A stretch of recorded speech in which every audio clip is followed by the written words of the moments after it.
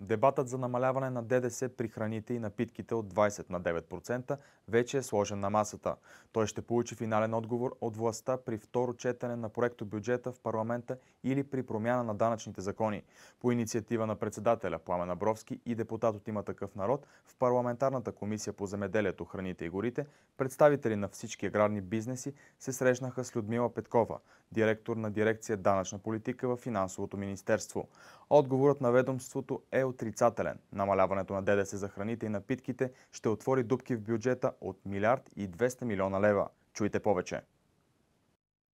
Когато има една тема, която не се дискутира явно и открито, в хората остава впечатление, че има нещо скрито. За да не си мисля, че има нещо скрито, за да покажем всички аспекти на ДДС-то и от страна на Министерство на финансите, и от страна на земеделието, и от страна на храните, на преработвателите, точно поради тази причина ние поставяме на масата чисто публично. Ние не сме против намаляването на ДДС-то на храните, но вие знаете, започна с ресторантите и заведенията, след това с книгите, с детските храни. Сега се поставя въпроса за, нали, за хранителните продукти. А, също стои въпроса за намалена ставка на гъста, на електроенергията, на лекарствата. В един момент намалената ставка става стандартна ставка което вече поставя въпроса дали това е най-подходящия механизъм, защото всеки от бизнесите в тази нали, криза, здравна криза,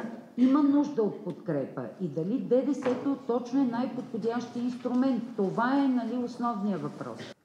Взимайте решение както прецените, според своята съвест и според партийните повели които, на партиите, които представлявате. Но не забравяйте, че ние говорим за нашите потребители, за каквито сме и ние самите и за хората, които работят в нашия и в останалите браншове. Трудно се издържа в тези условия. Ние не правим никакъв реверанс към потребителите и към бизнеса.